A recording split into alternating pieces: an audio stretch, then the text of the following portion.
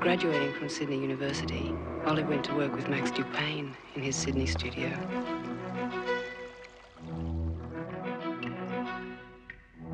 Having children, I, I had a job to do, and that occupied my time, and I could still go on taking photographs, and always with the feeling that one day I would have a chance to make prints for myself. Olive's negatives and prints sea. They were to stay there for 20 years.